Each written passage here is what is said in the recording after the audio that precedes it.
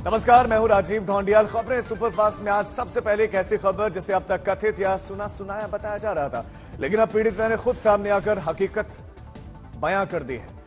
हम बात कर रहे हैं पूर्व डीसीडब्ल्यू अध्यक्ष और आम आदमी पार्टी के मौजूदा राज्यसभा सांसद स्वाति मालीवाल से हुई मारपीट के मामले के। अब इसे लेकर पुलिस सूत्रों और फ़ोन कॉल का अब तक हवाला दिया जा रहा था, लेकिन अब इन कयासबाजियों पर विराम लगाते हुए पीड़िता स्वाति मालीवाल खुद सामने आए और उन्होंने दिल्ली के सीएम अरविंद केजरीवाल के पीए विभव कुमार के खिलाफ मारपीट की एफआईआर दर्ज करवा दी है। स्वाति मालीवाल के मुताबिक विभव कुमार ने उन्हें सीएम आवास पर बुरी तरह से पीटा। विभव ने स्वाति को थप्पड़ जड़े, लात मारी, डंडे से पीटा और उसके बाद भी जी नहीं भरा तो पेट और निजी अंगों तक पर वार किया गया। ये सब एक महिला सांसद के साथ हुआ, वो भी दिल्ली के मुख्यमंत्री आवास पर हुआ। वो भी एक उस महिला के साथ जो कुछ दिनों पहले तक खुद महिला के अधिकारों की रक्षा की लड़ाई लड़ा करती थी। पुलिस विभव कुमार के खिलाफ एफआईआर दर्ज करने के बाद से बीती रात पीड़िता स्वाति मालीवाल को एम्स में मेडिकल जाँच के लिए लेकर आए। मालीवाल लगभग चार घंटों तक एम्स में रहे। रात करीब 11 बजे दिल्ली पुलिस स्वाति मालीवाल को एम्स के ट्रॉमा सेंटर लेकर आई और पुलिस रात तीन बजकर पंद्रह मिनट पर स्वाति मालीवाल वापस एम्स से उनके घर भी लेकर निकले।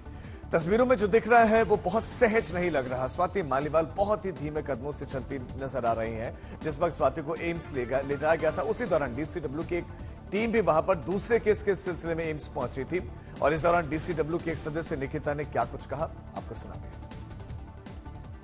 की खुद चीफ रही हैं वो उनके साथ अगर इस तरह की घटना होती है तीन दिन बाद एफआईआर दर्ज होती है और अमूमन उनके साथ बहुत बुरी तरह मार पिटाई होती है उसके बारे में निकिता क्या कहेंगी? साथ तो बिल्कुल गलत हुआ है जो हुआ है बिल्कुल गलत हुआ है। और जो एफआईआर जो हुई है वो लेट दर्ज हुई है और गलत हुआ है। मैं यही कहना चाहूँगी अभी। दिल्ली पुलिस ने स्वाति मालीवाल की शिकायत पर सीएम केजरीवाल के पीए विभव कुमार के खिलाफ धारा तीन यानी कि महिला की गरिमा को ठेस पहुंचाना। धारा 506 यानी कि आपराधिक धमकी। धारा 509 यानी कि शब्दों और इशारों से महिला का मान मर्दन करना। और धारा 323 यानी कि उसे स्वेच्छा से चोट पहुँचाने का केस दर्ज किया गया है। गुरुवार को एसीपी रैंक के अधिकारी के नेतृत्व में एक टीम मालीवाल का बयान दर्ज करने के लिए उनके आवास पर पहुँची थी और चार घंटे तक सघन जानकारी ली गई। रात में दिल्ली पुलिस स्वाति मालीवाल के सीएम आवास पर मारपीट के आरोपी विभव कुमार के घर भी पहुँची, लेकिन विभव कुमार घर पर मौजूद नहीं थे।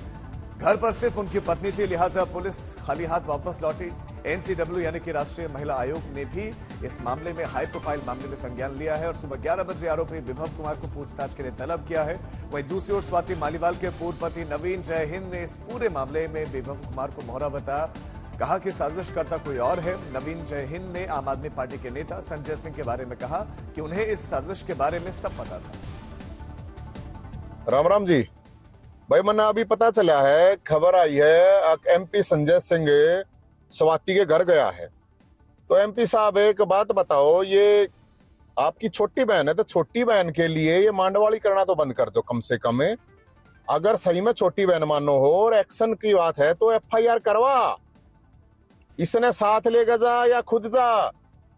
इस बात का तने सारी बातें का बेरा है। एक भी बात इसी ना जिसका नहीं बेरा है। तो ये एक्टिंग मत करे एक्शन कर एक्शन के एक्शन हो सके है। इन तक कुछ ना होता। वहाँ गए, घर मिलने यो बनवा का वीडियो बनी वीडियो बना ली, इस तरह ये ये एक्टिंग मत करे। बहुत बेजती हुई है और बेजती उसकी नहीं, लाखों महिलाओं की है और ये कोई व्यक्तिगत मामला नहीं है। असली जो बात है एफआईआर होनी चाहिए। वहाँ जो जो लोग थे, जिन्होंने वो किया उसको सामने लेकर आओ। उसका डरावा धमका मना अग जाके उसने घरा न्यू भी मतलब डरावे भी है, धमकावे भी है, और न्यू भी कहे, मैं तेरी गले भी हूँ। ये इनडायरेक्ट तरीके से धमकाओ मन्ना धमकाने का कोई फ़ायदा नहीं है भाई। अगर छोटी बहन, अरे छोटी बहन है, छोटी बहन के तो मामले में कम से कम मांडवाड़ी मन्ना करे, उसमें तो छोड़ दे, बख्श दे। तो इसलिए सबसे जो महत्वपूर्ण बात है, इसकी सुरक्षा ज़रूरी है। उस सुरक्षा के लिए बात कर जागे सीपी तक कमिश्नर तक मिल दिल्ली पुलिस वाले तक जाके करे मंत्रालय थे मेले। आज इसकी सेवा, उसकी सुरक्षा की ज़रूरत है। तो मेरे भाइयों, इस बात है नोट करो, बहुत एक्टिंग होंगी। नरी एक्टिंग करेंगे भी एक्टिंग नहीं एक्शन की बात है एक्शन कर। एक्टिंग मन ना करे। और कम तक कम बहन के ऊपर तक कम से कम मांड वाली मन ना करो। जय हिंद, जय बोल। सीएम आवास में स्वाति मालीवाल पर हुए हमले को लेकर बीजेपी मुखर है। बीजेपी ने इस मामले में अब तक सीएम केजरीवाल के चुप्पी पर सवाल उठाए हैं। लखनऊ में कल अखिलेश के साथ अरविंद केजरीवाल की साझा प्रेस कॉन्फ्रेंस में मीडिया ने भी सीएम केजरीवाल से इस पर सवाल किया। लेकिन केजरीवाल इसे टाल गए और माइक आगे बढ़ा दिया गया। केजरीवाल की इस खामोशी को बीजेपी ने मुद्दा बना लिया और उनके इस्तीफे की मांग कर रही है। दिल्ली बीजेपी अध्यक्ष वीरेंद्र सचदेवा ने सवाल किया कि जब सीएम आवास पर स्वाति मालीवाल से मारपीट हुई तो क्या सीएम केजरीवाल मौजूद थे? अगर मौजूद थे तो उन्होंने फ़ौरन पुलिस बुलाकर विभव को पुलिस के हवाले क्यों। मैं अरविंद केजरीवाल, दिल्ली के मुख्यमंत्री। आपसे सिर्फ़ एक सवाल करना चाहता हूँ। जब स्वाति मालीवाल के साथ इस तरह की घटना आपके आवास में हुई, आप उस समय घर में मौजूद थे। आखिर क्यों आपने एक महिला पर अत्याचार होने दिया? क्यों आपने रोकने की कोशिश नहीं की? क्यों आज चार दिन तक आप चुप्पी रख के बैठे हैं?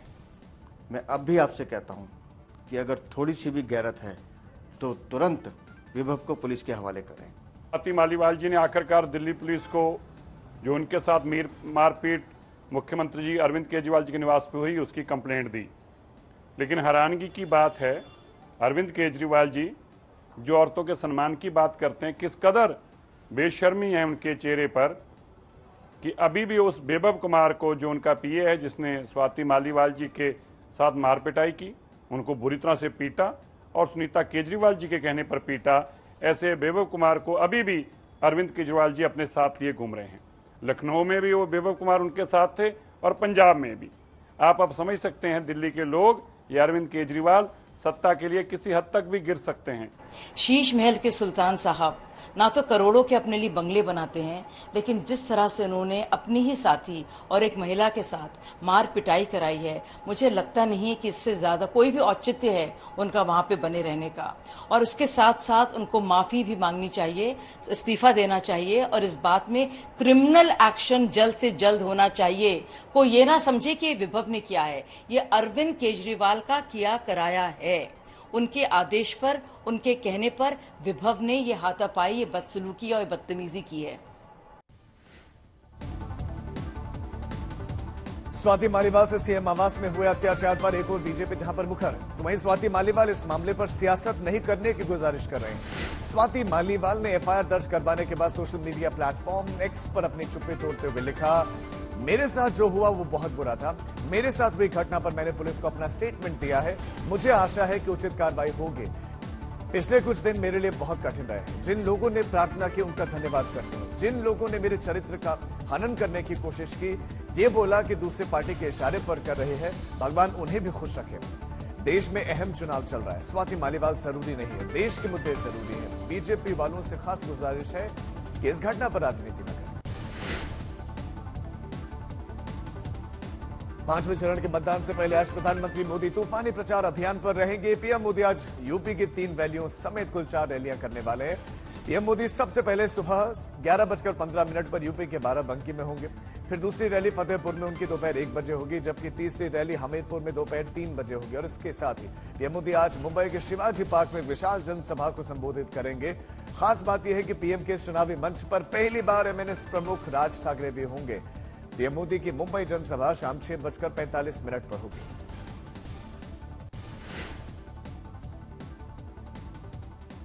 यूपी के बाहुबली नेता रघुराज प्रताप सिंह उर्फ़ राजा भैया ने इस बार अपनी पार्टी जनसत्ता दल लोकतांत्रिक से किसी भी उम्मीदवार को लोकसभा के मैदान में नहीं उतारा है।